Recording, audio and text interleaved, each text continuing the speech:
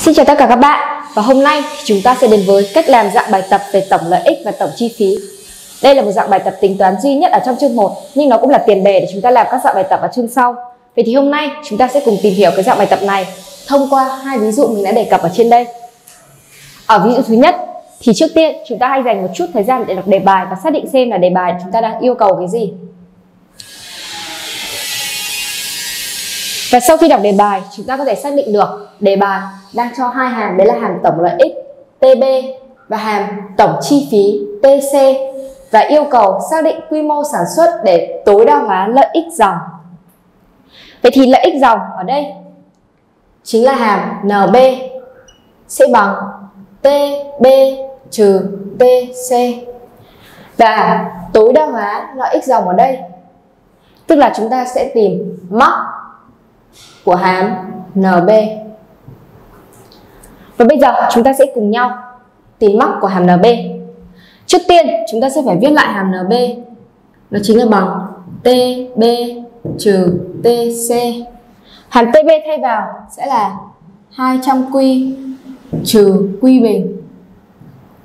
Hàm TC thay vào sẽ là 200 cộng 20Q cộng 0,5q bình và chúng ta sẽ phá ngoặc ra. Sẽ là 200 q trừ q bình trừ 200 trừ 20 q trừ 0,5 q bình bằng 200 q trừ 20 q chúng ta sẽ còn 180 q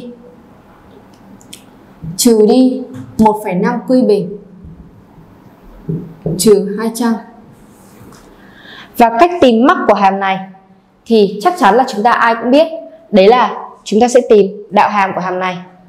Chúng ta sẽ tìm được NB phẩy sẽ bằng 180 quy đạo hàm sẽ là 180 trừ 1,5 quy bình đạo hàm sẽ là trừ 3 quy. Và chúng ta sẽ cho hàm NB phẩy này bằng 0 và tìm ra được quy bằng 60 lúc này quy bằng 60 chính là giá trị để cho hàm NB là giá trị mắc hay cũng là giá trị để lợi ích dòng đạt được tối đa và chúng ta sẽ chọn đáp án D. Thì cũng khá là đơn giản đúng không nào? Nhưng mà ở đây mình sẽ thấy có một cái sai lầm mà các bạn hay mắc phải Đấy chính là cái việc các bạn đọc không kỹ đề bài dẫn đến chúng ta nhầm lẫn việc tối đa hóa lợi ích dòng với việc là chúng ta tìm tối đa hóa lợi ích và bản thân mình lúc làm bài khi mà đọc nhanh hay là đọc không kỹ đề bài cũng dễ rất là xác định nhầm cái việc mà quy mô, xác định quy mô để tối đa hóa lợi ích dòng hay là tối đa hóa lợi ích vậy thì nếu các bạn, vậy thì nếu các bạn tìm tối đa hóa lợi ích vậy thì các bạn sẽ phải tìm mắc của hàm TB và ở đây chúng ta sẽ cùng tìm thử mắc của hàm TB vậy thì hàm TB sẽ bằng 200Q trừ Q bình. Chúng ta sẽ đạo hàm lên là bằng 200 trừ 2Q cho hàm này bằng 0 và chúng ta sẽ có giá trị Q bằng 100. Đấy, thì mọi người có thể thấy là đề bài của chúng ta có cả hai đáp án Q bằng 100 và Q bằng 60. Tức là đây là một cái giá trị để đánh lừa. Nếu chúng ta đọc không kỹ là x dòng hay là x thì chúng ta sẽ rất dễ dàng khoanh nhầm vào một trong hai đáp án này.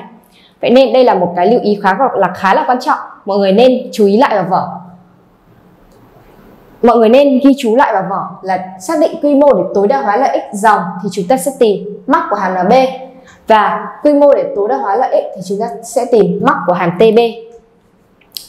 Và để củng cố lại cái lý thuyết chúng ta vừa làm ở ví dụ 1, chúng ta sẽ đến ở ví dụ 2.